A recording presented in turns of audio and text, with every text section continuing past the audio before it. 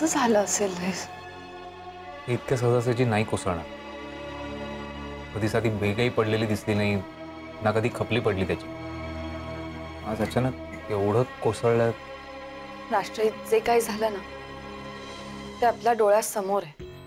झाला असेल कमकुवत हा भाग आणि पावसामुळे ओल पकडली असेल म्हणून लक्षात पण नसेल आलं कोणाच्या.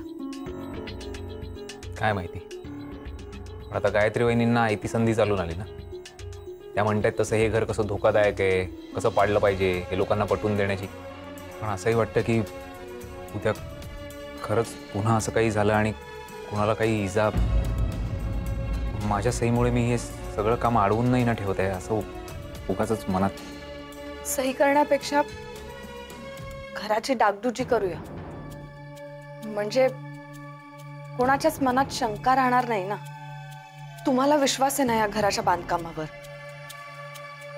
आहे. घराच्या बांधकामावरही आणि तात्यांवरही.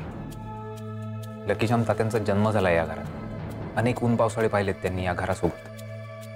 तात्या म्हणतात ना की ही वास्तू मज़बूत आहे. तर एवढं नक्की की ही वास्तू धोकादायक नाही आहे आज हे छप्पर कोसळल्यामुळे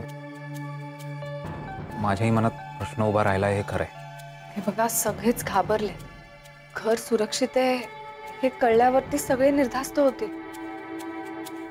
तुम्ही टेन्शन नका घेऊ.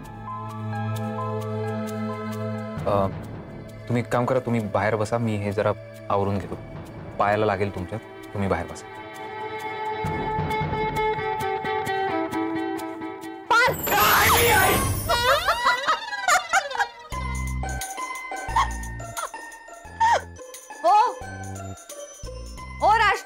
हा. या. ती गेली का? कोण? कोण काय? पाल. कुठे होती? काय हो? हा? काय घाबरवत हवंय मला? तुम्हाला काय वाटतं? तुम्हाला कोणाच्याही मदतीची गरज नाहीये का? सगळं तुम्ही एकटेच करू शकता? हे घर तुमच्या एकट्याच आहे का? हा? बायको आहे मी तुमची. माझा पण अधिकार आहे या घरावर. आणि आपलं काय ठरलंय हो? थोडं तुझं आणि थोडं माझं. तुम्ही सारखं सारखं का विसरता? परत विसरू नका आता. चला. दोघे मिळून साफ़ करूया. हे? मोठे मोठे तुकडे एका बाजूला ठेवा मी धूळ साफ़ करून घेते. चला लवकर. हा.